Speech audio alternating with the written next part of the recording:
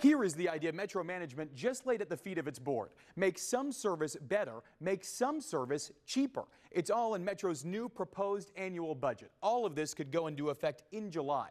The biggest proposed service hikes happened during rush hours. The morning rush would last an extra half hour until 10 a.m. The evening rush an extra hour and a half until 8:30 p.m. That means more trains coming more often. Metro also wants all trains around the clock to be eight cars. Right now, only some trains are that big. Metro thinks this will cut down on crowded platforms. This proposal does not make major changes to the time between trains called headways. Metro also does not want more service on weekends. That's when a lot of track work is taking place and trains come less often. Instead, Metro wants to charge a flat fare on weekends of $2. That would get you anywhere in the system. Metro General Manager Paul Wiedefeld says he's been working to get Metro back to good. He says this idea is about making Metro better than good. Pete Muntean, WUSA 9. All right, here's something we can all be happy about. The forecast for Halloween. It's almost perfect. I mean, I mean, it really is. You really must have. You just pulled some stuff out we, the air. I don't we, know how we you worked, did it. We worked this year. hard on this. You know, statistically, it's usually dry on Halloween. Like we have a 92% chance of it being dry on Halloween over the last 25 years. And this is going to be dry and actually unseasonably warm. I mean, it, it's going to be really kind of, a, well, a treat, really. Temperatures are going to be in the 60s. Well, there she goes again. And rather mild. So, I mean, that's just about picture perfect. In terms of temperatures, November is going to kind of come in like a lamb here. We're looking at 62 tomorrow, 70 on Wednesday, but then 75 on Thursday, back to 69 on Friday, and then, well, some colder air, cooler air does move in uh, over the weekend. But the weekend right now looks okay. Okay, headlines. Well, a cool but beautiful Tuesday. Warmer on Halloween and Thursday. We should make 70s, I think, both days. Then late showers possible Thursday, more to the west. And if we don't see him late Thursday, we will Thursday night uh, into early Friday morning, which means it could affect DC United's uh, playoff game Thursday night.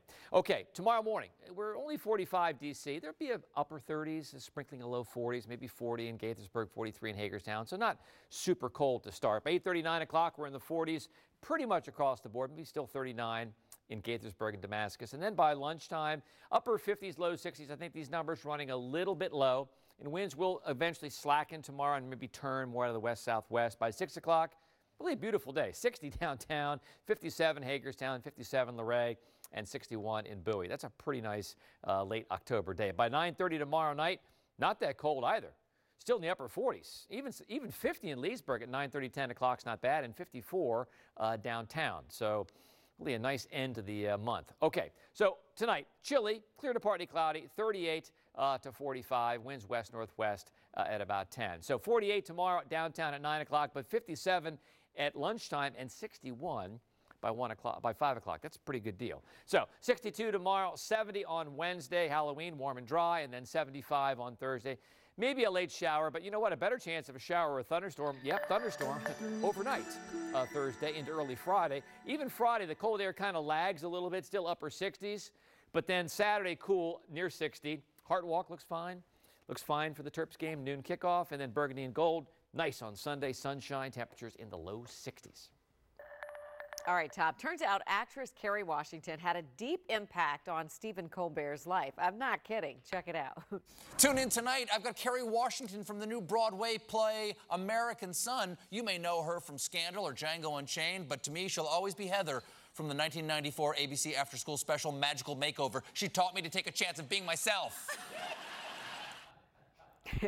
Watch The Late Show with Stephen Colbert as soon as we wrap up. And you're going, what was that show and when did that happen?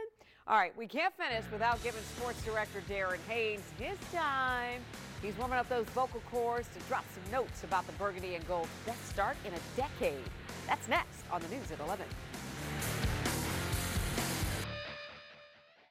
School shootings. Word of one fills every parent with terror, including me. Communities want to make schools safer, but many just aren't sure how. This week, WUSA 9 investigates innovative ways to keep kids safe in school. When the NRA tried to overturn Maryland's assault weapons ban, Attorney General Brian Frosh led the fight to stop them, defending our gun safety laws to protect the people of Maryland.